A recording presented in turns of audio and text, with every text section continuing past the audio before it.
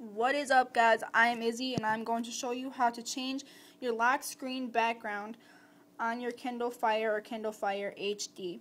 Now the lock screen background pictures are provided but they change every five minutes. Now changing it or you're changing your picture um, involves an app that is not provided in the App Store, but the link that I provide below will be easier if you watch this video on your Kindle Fire, Kindle Fire HD, and clicking on download my Kindle Fire wallpaper now. Now clicking on it will let you download this app, which is my Kindle Fire app, and it looks exactly like this. All you have to do is click on it and press the disabled, which will let you enable it and you click on wallpaper image. Once clicking on wallpaper image, you'll select a single image and pick any image from your gallery. And I'll select no for cropping it. And there and now I have my wallpaper for my my lock screen.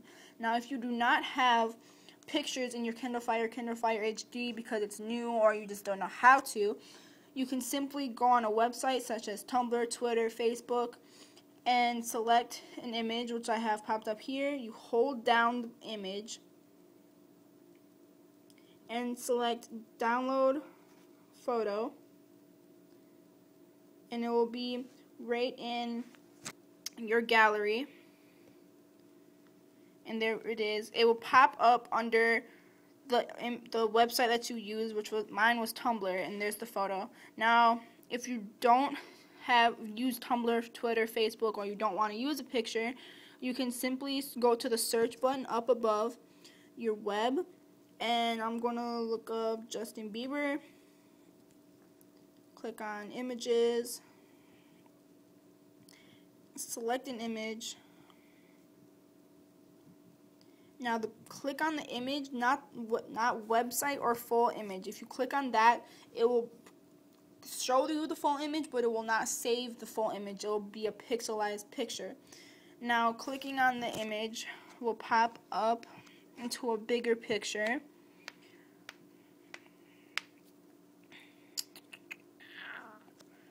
It will download. There we go. Now you just hold the picture and save image. Now, after doing that, up, go into gallery, and under gallery, it will be under download as you can see. And then when doing the whole process of the app, you select wallpaper image, select image, download, select the photo. No, I will not like to crop it and it will be on there. But so most people, depending on the size of the picture, will want to crop it. But the picture I like to choose is a collage picture. And PicCollage is also an app that I love to use, which I'll do a review on later.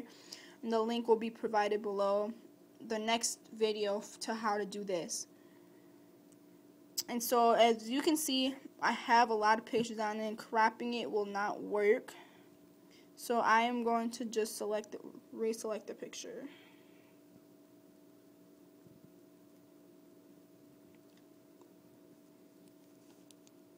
and now I have my Kindle Fire background. Now, if you're having any troubles, just hit me up on my Tumblr, Twitter, Facebook. The links will be provided below, and I hope this works for you since it worked for me.